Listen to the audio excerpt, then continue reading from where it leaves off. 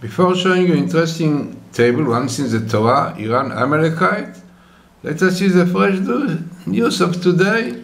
This is what is written. Iran has test fired another two ballistic missiles. It says are capable of hitting Israel. Now, as it is known, they also even wrote in Hebrew that these missiles which can reach Israel Really? This was they want? To wipe out Israel with these missiles, yeah? Clearly. Now it is interesting it came just before Purim, exactly like Haman. At that time, today is Amani, but at that time was Haman exactly the same thing. Also, Amalekite want to destroy Israel, wipe out Jews.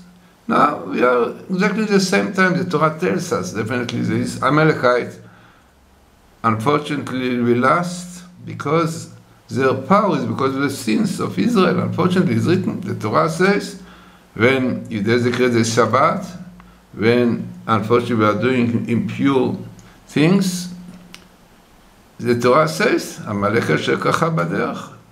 In the desert, they attacked Israel because they did not keep Shabbat, and we know the story. Unfortunately, why they come? Also because there's no trust in God. This way Amalekite. This is what Torah says. Okay, so Amalekite still exists, and just the beginning of Adar now, this month, the month of Purim, exactly they came to remind us that still Amalek is here, and in order to get rid of them, we have to do like you did in Purim, in that time, united, fasting, repenting. This is the only way to fight with this evil people. Now let us see the table. So once in the Torah we have here Iran, Amaleki, Iran, Amalekite, amazing, coming once in the Torah. And also this year, maybe because of this threat, this year that they have this missile, we can reach Israel 2,000 kilometers. Now what is also interesting that they tell us, that this table tells these people are Yetzer Atom. They are really building, creating atom in the ideology of the Islam, which come really clearly here.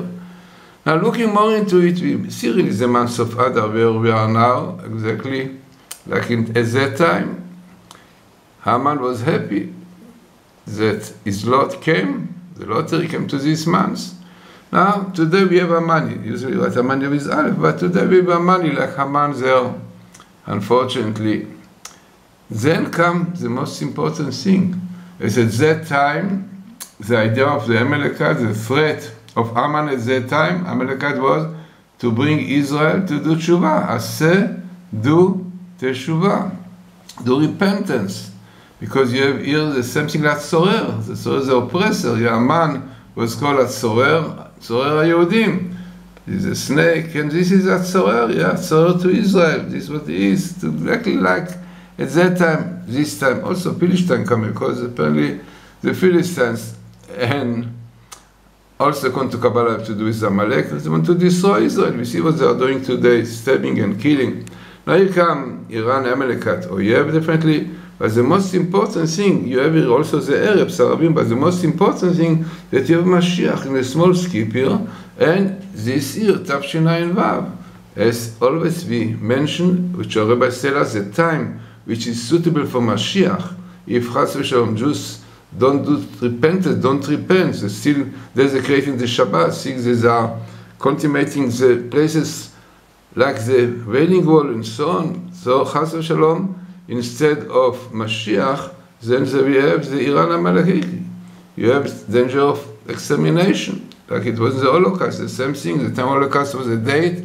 It's called the Vilna Gaon. Baal Shem Tov was the time appropriate for Messiah, but because of the simulation, because of the reform, defiling the Torah, unfortunately, it turned to be Holocaust. So amazingly that you have Iran Amaleki and we have really the Mashiach Ephraim. You know, the Mashiach will fight against this evil force, is Mashiach of Ephraim, from the sons of Joseph, which come here, the sons of Joseph.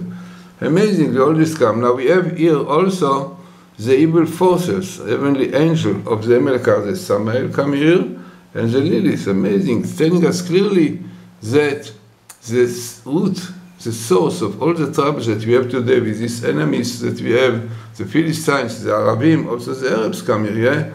all are to do with the Amalekite. Am- Amalek, according to Kabbalah, Amalek comes from Amlak, a nation want to destroy, to lick the blood of Jews. You see what the Arabs really want? But the Philistine and Iran, Hezbollah, all of them together. Now, the only solution, as we said, the Torah tells us, tshuva, do repentance, then you get rid from this Hatzorer, from the oppressor, his money, from Iran, Amalekite, and only then will have Mashiach coming and save us from all these terrible situations that we have today. So very important and relevant table to our time, especially that these missiles, the two missiles, came exactly telling us the month of Adar, with the coming of Adar, to tell us what is Adar, to do with Purim. This is exactly the time that come to tell us this is the time for you to do tshuva, to repent, to become united, like at the time of Purim, because this is the only way to get rid, to be delivered and rescued from all those enemies who want to destroy Israel.